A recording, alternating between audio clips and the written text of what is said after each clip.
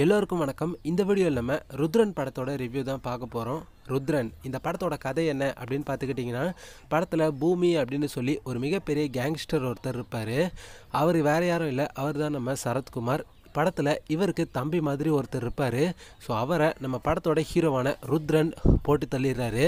So ருத்ரனை நம்ம எப்படியாவது தேடி கண்டுபிடிச்சி போட்டு தள்ளணும் அப்படின்னு சொல்லிட்டு பூமி வெறி கொண்டு சுற்றிட்டு இருக்காரு. இது ஒரு பக்கம் இருக்க இன்னொரு பக்கம் நம்ம ருத்ரனோட அப்பா ஒரு மிகப்பெரிய தொகையை ஒருத்தர்கிட்ட இருந்து ஒருத்தர் மூலமாக கடன் வாங்குறாரு. ஸோ அந்த கடன் வாங்கி கொடுத்தாரு பார்த்தீங்களா அவர் இந்த பணத்தை எல்லாம் சுருட்டிக்கிட்டு நம்ம ருத்ரனோட அப்பாவை ஏமாற்றிட்டு இங்கேருந்து ஓடி போயிடுறாரு. ஸோ இப்போது இந்த கடன் எல்லாத்தையுமே ருத்ரனோட அப்பா தான் கட்டியாகணும். ஒரு கட்டத்தில் நம்ம ருத்ரனோட அப்பா இறந்து போயிடுறாரு. ஸோ இப்போது இந்த கடன் எல்லாத்தையுமே நம்ம ருத்ரன் தான் கட்டியாகணும். நம்ம ருத்ரன் என்ன சொல்ல சொல்கிறாருன்னா நான் வெளியூருக்கு போயிட்டு வேலை செஞ்சு அந்த பணத்தை எல்லாம் உங்ககிட்ட கொடுத்து இந்த கடனை அடைச்சிட்றேன் அப்படின்னு சொல்லிட்டு வெளியூருக்கு கிளம்பி நம்ம ருத்ரன் போயிடுறாரு. இதுக்கப்புறம் நம்ம ருத்ரனோட வாழ்க்கையில் எந்த மாதிரியான சம்பவங்கள்லாம் நடந்துச்சு? ருத்ரனுக்கும் பூமிக்கும் இடையில என்னென்ன சண்டைகள்லாம் வந்துச்சு அதுதான் இந்த ருத்ரன் படத்தோட மொத்த கதையை.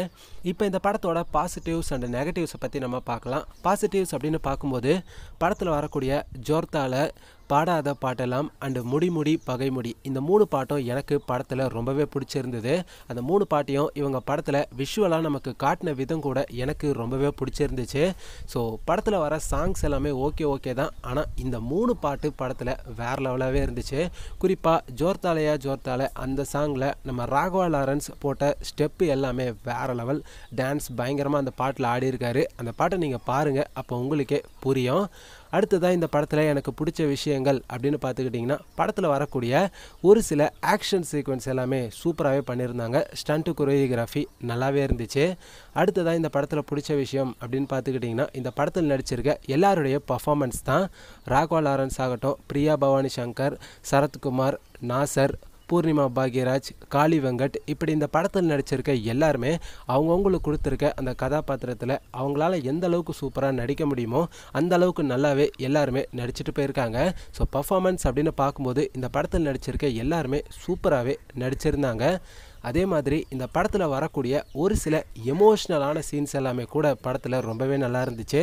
குறிப்பாக நம்ம ஹீரோ அண்ட் அவருடைய அம்மா இவங்க ரெண்டு பேருக்கும் நடுவில் வரக்கூடிய எமோஷ்னல் பாண்டிங் எல்லாமே படத்தில் சூப்பராகவே அந்த சீன்ஸ் எல்லாமே படத்தில் சூப்பராகவே காமிச்சிருந்தாங்க. ஸோ எமோஷ்னல் சீன்ஸ்லாம் படத்தில் ஓரளவுக்கு நல்லாவே ஒர்க் அவுட் ஆயிருந்துச்சு. இப்போ இந்த படத்தோட நெகட்டிவ்ஸை பற்றி நம்ம பார்த்துடலாம் நெகட்டிவ்ஸ் அப்படின்னு பார்க்கும்போது இந்த படம் ஃபுல்லாகவே நம்ம ஈஸியாக ப்ரெடிக்ட் பண்ணுற மாதிரி தான் இருந்துச்சு. படம் பார்க்கும்போது இந்த சீனுக்கு அப்புறம் இதுதான் நடக்க போகுது அப்படின்னு நம்மளால் ஈஸியாகவே படம் பார்க்கும்போது ப்ரெடிக்ட் பண்ணுற முடிஞ்சுது. ஸோ அந்த மாதிரி தான் இவங்க படத்துடைய ஸ்க்ரீன் பிளேவை கொண்டு போயிருக்காங்க. அதே மாதிரி படம் ஃபுல்லாகவே நம்ம ஆல்ரெடி நிறைய படங்களில் பார்த்த சீன்ஸ் தான் இந்த படத்துல இருக்கே தவிர புதுசாக இந்த படத்தில் எந்த ஒரு விஷயத்தையும் இவங்க நமக்கு காட்டலை. ஸோ அதுவே எனக்கு ஒரு டிசப்பாயின்மெண்ட்டாக தான் இருந்துச்சு. ஸோ அதுவும் ஒரு நெகட்டிவாக தான் எனக்கு இந்த படம் பார்க்கும்போது பட்டுச்சு. அதே மாதிரி ஜிவி பிரகாஷுடைய மியூசிக் இந்த படத்தில் அந்தளவுக்கு இம்ப்ரெசிவாக இல்லை அப்படின்ற மாதிரி தான் நான் பர்சனலாக ஃபீல் பண்ணேன். படத்துடைய பிஜிஎம் கூட ஆல்ரெடி ஏதோ ஒரு படத்தில் கேட்ட மாதிரி தான் எனக்கு ஃபீல் ஆச்சு. உங்களுக்கு எப்படி ஃபீல் ஆச்சு அப்படின்றத மறக்காமல் கமெண்ட் செக்ஷனில் சொல்லுங்கள் ஸோ ஜிவி பிரகாஷ் இந்த படத்துக்கு இன்னுமே மியூசிக் செமையாக போட்டிருக்கலாம் அப்படின்ற மாதிரி தான் நான் பர்சனலாக இந்த படத்தை பார்க்கும்போது ஃபீல் பண்ணேன். ஜி பிரகாஷ் ஆவரேஜாக தான் மியூசிக் போட்டிருக்காரு. அதே மாதிரி படத்தில் வரக்கூடிய ஆக்ஷன் சீக்வன்ஸ் அண்ட் ஸ்டண்ட்டு சீக்வன்ஸ்லாம் கொஞ்சம் கிரிஞ்சாக இருக்க மாதிரி தான் எனக்கு படத்தில் பட்டுச்சு. ஒரு சில இடங்களில் நல்லா இருந்தால் கூட நிறைய இடங்களில் ஆக்ஷன் சீக்வன்ஸ்லாம் நம்புகிற மாதிரியே இல்லை.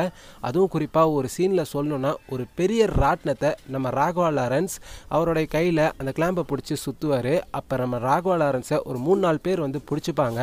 ஸோ அவங்கள அடிக்கிறதுக்காக அந்த பெரிய ராடை பிடிச்சி அந்த ராட்னத்துலேருந்து இவர் இழுப்பார் பாருங்க. அது அப்படியே இவரோட கைக்கு வந்துடும் ஸோ அதை வச்சு அவனுங்க எல்லாருமே போட்டு அடிப்பார். அதெல்லாம் நம்ம படத்தில் பார்க்கும்போது டே எப்பட்றா? அப்படின்ற சீன் தான் நமக்கு ஞாபகம் வந்துச்சு.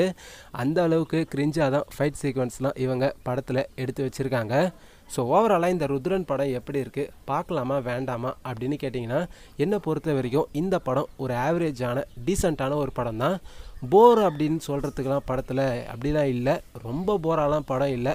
பார்க்குற அளவுக்கு டீசெண்டாக நல்லா தான் படத்தை எடுத்திருக்காங்க.